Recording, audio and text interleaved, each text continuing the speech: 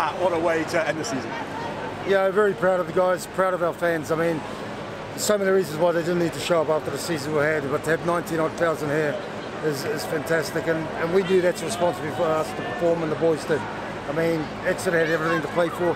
Um, they were coming full noise, and I knew we had to be at our best, and the boys did a wonderful job tonight. Yeah, the atmosphere absolutely yeah. electric tonight. Before the game, you said it was going to be about longevity, and be able to keep up the pace. Do you feel that's how it went? Oh, 7, 7, 14, 14, 28, 28.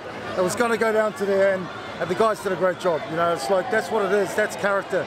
Um, but we played some great rugby as well, so I'm pleased. Would you feel uh, it was sort of a bit of a Bears performance of old, and is it therefore a glimpse of what's to come? Without a doubt. I mean, all year there's been glimpses, but not good enough, and we've turned ball over, and we, we're determined to fix all these basic stuff, because when we play well, you know, it's, it's, the sort of rugby we want to play, it's the sort of rugby they want to see, and um, we're going to keep building, and we'll, we'll, we, I promise we'll be back stronger next year. And just finally, a word for our leavers. Incredibly yeah. emotional leavers ceremony, and how proud we are of what they've achieved. Oh, massive. I mean, I'm so proud of all of them. But you know, um, Alapati Leua, first up, leave Premiership to come down to the Championship to, for a vision to help inspire not only the community but the boys. And he's he's done a hundred odd games.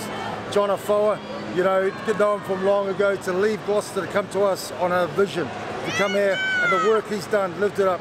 Dave Attwood, three years ago, come here, come home to do what exactly what he said to do and make an impact. And then all the others, but certainly those three, and then you know being able to play tonight and play well and finish well has been good.